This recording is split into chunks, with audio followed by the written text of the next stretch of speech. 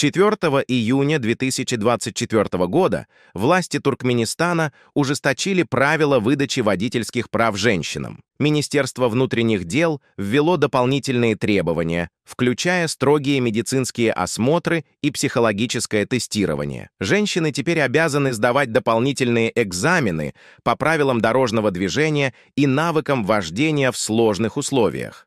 Получение прав занимает от 6 месяцев до года, что значительно дольше, чем у мужчин. Эти меры вызвали широкий общественный резонанс. Женщины и правозащитные организации считают их дискриминационными.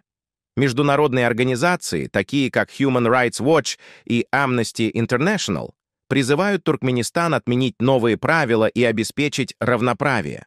Однако власти продолжают утверждать, что заботятся о безопасности на дорогах. Как вы считаете, оправданы ли такие ужесточения?